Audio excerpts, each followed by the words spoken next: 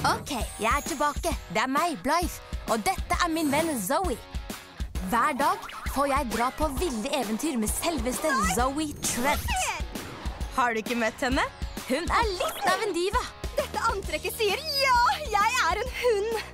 Den ene dagen går hun på den røde løperen, opptrer på scenen foran skrikende fans og har hovedrollen i en film. Dagen etter bare slapper hun av i dyrebutikken. Eller tar en bedagelig kjøretur i byen. Og nevnte jeg at håret hennes alltid er perfekt? Jeg er ruinert. Ruinert!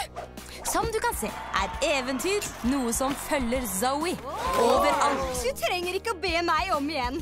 Ikke gå glipp av noe som helst med meg og mine helt unike kjæledyrvenner. Bare på Littlest Pet Shop.